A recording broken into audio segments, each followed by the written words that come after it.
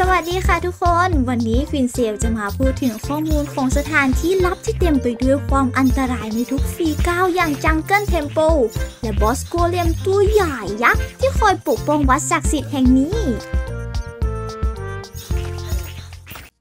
Jungle Temple คือ structure ปิดตายที่ถูกสร้างขึ้นจาก Lihzahrd block และพบเจอได้แค่ใน biome Jungle เท่านั้น ซึ่งมีอยู่หนึ่งที่ต่อหนึ่งโลกเสมอ ประตูทางเข้าจะถูกล็อกไว้ในทีแรกจำเป็นต้องใช้กุญแจ Temple Key ที่ drop จากบอส Plantera มาไขเปิดเท่านั้นนะด้านในจะประกอบไปด้วยเฟอร์นิเจอร์ statue และกับดักมากมาย ในห้องลึกสุดของวัดแห่งนี้จะมีแท่นบูชาสีน้ำตาลที่ใช้อัญเชิญบอส Golem อยู่นั่นเอง Lihzahrd คือมอนกิ้งกาที่พบเจอได้ทั่วไปใน Templeมันเดินด้วยสองขาและต่อสู้แบบปกติเหมือนมนุษย์ แต่เมื่อมันเลือดต่ำกว่า 55%เจ้ากิ้งกาจะเข้าสู่โหมดคลาน และจะวิ่งด้วยสี่ขาแทน ในร่างนี้ความเร็วพลังโจมตีและพลังป้องกันจะเพิ่มขึ้น แต่จะกระโดดได้ต่ำลง Flying Snake คือมอนงูมีปีก เป็นศัตรูประเภทบินได้ของ Temple ซึ่งก็เหมือนกับ Lihzahrd มันจะเกิดได้เฉพาะตอนที่ผู้เล่นอยู่ในวัดเท่านั้นศัตรูทั้งสองตัวนี้มีไอเทมที่ drop ได้เหมือนกันได้แก่ Lihzahrd Power Cell ในอัตรา 2%และ Solar Tablet Fragment ซึ่งคือวัตถุดิบในการ craft ไอเทมเรียก event Solar Eclipse นั่นเอง วัตถุขนาดใหญ่ที่ขับเคลื่อนด้วยพลังแสงอาทิตย์ และพร้อมขับไล่ผู้ลุกรานออกไป Golem คือบอสในช่วง Hardmode และ post Planteraมันจะคอยพิทักษ์ปกป้องวัดแห่งนี้เอาไว้ ยังไงก็ตามบอสตัวนี้ก็ถูกจัดว่าเป็นบอสที่ง่ายที่สุดอีกตัว และการเอาชนะมันจะเป็นการพาโลกของเพื่อนๆเข้าสู่ช่วงท้ายของเกมในที่สุด บอส Golem จะถูกอัญเชิญผ่านการใช้งาน Lihzahrd Power Cell บนแท่นบูชา Lihzahrd Altar ที่พบได้ในห้องสุดท้ายของ Temple ไอเทม Power Cell สามารถหาเก็บตามกล่อง แล้วก็สามารถหา drop จาก Lihzahrd และ Flying Snake ในอัตรา 2%ได้อีกด้วย เมื่อใช้งานเซลจะหายไปจาก inventory ของเรา และ Golem ก็จะเกิดเหนือแท่นบูชาทันที ถ้าบอส Plantera ยังไม่ถูกโค่นการใช้งานเซลก็จะไม่มีอะไรเกิดขึ้นทั้งนั้น แม้ว่าร่างกายหลักของบอส Golem จะไม่สามารถทะลุผ่านบล็อกได้ แต่หมัดเลเซอร์และหัวของมันยังสามารถผ่านได้ ถ้าร่างกายหลักของมันถูกบล็อกจากผู้เล่น มันจะพุ่งผ่านบล็อกเหล่านั้นเพื่อมาหาผู้เล่นจนได้ คล้ายๆ กับสิ่งที่ Biome Mimic ทำใน phase แรก บอส Golem จะยิงกระสุนลูกบอลไฟชิ่งไปมา และโจมตีด้วยหมัดที่เชื่อมต่อด้วยโซ่ ไปพร้อมๆ กับการกระโดดไปมา pattern พวกนี้จะถี่ขึ้นเรื่อยๆ ตามสัดส่วนเลือดที่ต่ำลงของบอส หมัดของบอส Golem จะทะลุผ่านบล็อกได้ แต่ก็มีระยะยืดต่อยที่จำกัดหมัดของมันจะเปล่งแสงคู่หนึ่งก่อนที่จะพุ่งเข้าต่อยผู้เล่น และการกระโดดของบอส Golem ก็จะถี่ขึ้นมากเมื่อหมัดของมันถูกทำลายอีกด้วย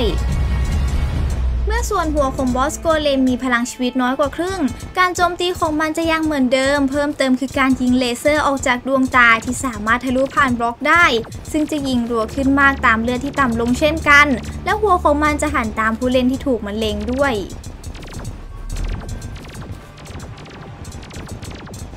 phase ที่ 2 จะเกิดขึ้นเมื่อพลังชีวิตของส่วนหัวหมดเกลี้ยง ส่วนหัวจะแยกออกจากร่างกายหลัก มันจะไม่รับ damage ใด ๆ และลอยไปมาผ่านบล็อกได้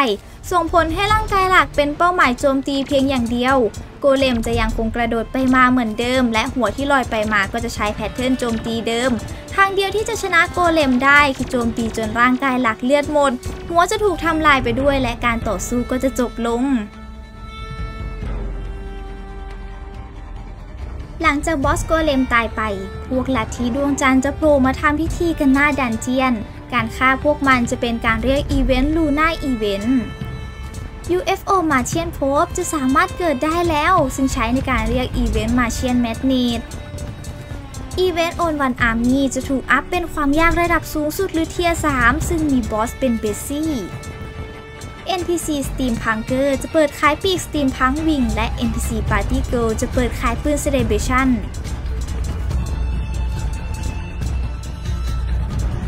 และนี่คือรายการ item ที่สามารถ drop ได้จากบอส Golem Picksaw คืออุปกรณ์ที่เป็นทั้ง pickaxe และขวานในเวลาเดียวกัน มีโอกาส drop ได้จากบอส Golem ที่ 33%และมันเป็นอุปกรณ์ที่สามารถขุดบล็อกได้ทุกบล็อกในเกม รวมถึง Lihzahrd Brick ที่ใช้เป็นโครงสร้างของ Jungle Temple ด้วย Beetle Husk คือวัตถุดิบที่การันตีดอกที่เมื่อนำไป craft รวมกับเกราะเต่าจะได้ Beetle Armor คือเซตชุดเกราะด้วงตัวม่วงสาย melee โดยชุดเกราะนี้มีความพิเศษที่ set bonus จะเปลี่ยนไปตามตัวเกราะอกที่มีให้เลือกถึง 2 เวอร์ชันคือ Beetle Scale Mail ที่จะทำให้การโจมตี melee รุนแรงและรวดเร็วขึ้นในขณะที่อยู่ในการต่อสู้ ส่วนเกราะอกอีกอันหนึ่งก็คือ Beetle Shell ที่จะมีด้วงบินอยู่รอบตัวผู้เล่น และลดความเสียหายที่ได้รับสูงสุด 45%เมื่อมีด้วงครบ 3 ตัว พูดง่ายๆก็คือสาย damage กับสายแทงนั่นเอง Stynger คืออาวุธ launcher สาย range ที่ใช้ Stynger Bolt เป็นกระสุน เจ้ากระสุนนี้เคลื่อนที่ได้เร็วและจะระเบิดทำความเสียหายเมื่อชนศัตรูหรือบล็อก พร้อมกับมีชิ้นส่วนกระสุนเล็กๆ อีก 2-5 เม็ดกระเด็นออกมาสร้างความเสียหายเป็นวงเล็กๆ อีกด้วย โ r o เซ t แ a ชเชตคืออาวุธบูมแมลงสายเมลีที่จะวิ่งติดตามศัตรูด้วยความเร็วสูง สร้างความเสียหายก่อนจะกลับมาสู่มือผู้เล่น บูมแมลงนี้ยังมีอีกความพิเศษคือมันสามารถคว้างออกไปกี่อันก็ได้ แม้จะมีอาวุธแค่ชิ้นเดียวก็ตามซันสโตนคืออ c เซสซอรีที่จะมอบบัฟต่างๆ มากมายให้เราเมื่อสวมใส่มันในตอนกลางวัน และ buff ก็จะหายไปในตอนกลางคืน buff ที่พูดถึงก็จะมีพวกเพิ่ม damage เพิ่มเกราะ เพิ่มความเร็วโจมตี ความเร็วขุดเพิ่มโอกาส crit minion knockback และอัตรารีเลือด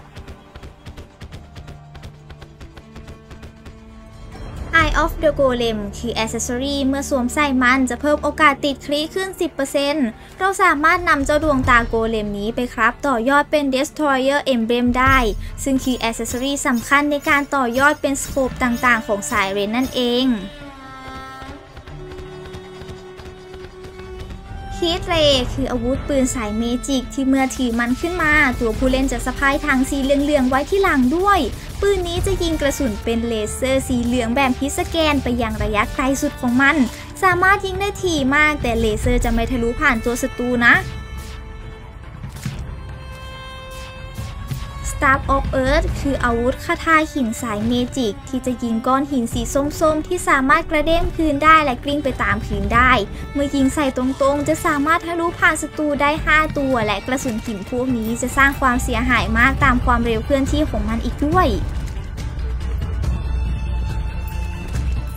โกเลมฟิส คืออาวุธหมัดโซ่สายเมลีด้วยการโจมตีจะเป็นการปล่อยหมัดออกไปคล้ายกับที่บอสโกเลมทำเมื่อหมัดกระทบกับศัตรูก็จะเด้งกลับ นั่นหมายความว่าถ้าโจมตีใส่ศัตรูที่อยู่ใกล้ ความถี่ในการปล่อยหมัดก็จะมากขึ้นตามไปด้วย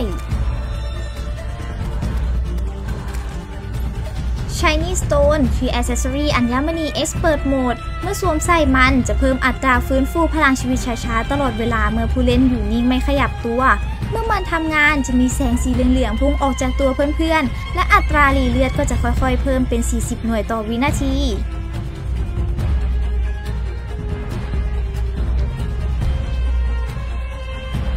จบกันไปแล้วนะคะสำหรับคลิปใน jungle เขียวอี๋ ในตอนของวัดสีส้มที่มีแต่กับดักเต็มไปหมดบอสอิฐถอดหัวกับอีเวนท์ที่จะตามมาอีกมากมาย ถ้าเพื่อนๆชอบหรือสนใจก็อย่าลืมกดไลค์ กดแชร์ และที่สำคัญกด sub เพื่อเป็นกำลังใจให้ด้วยนะ แล้วถ้ามีคำถามหรือข้อเสนออะไรก็คอมเมนต์ไว้ได้เลย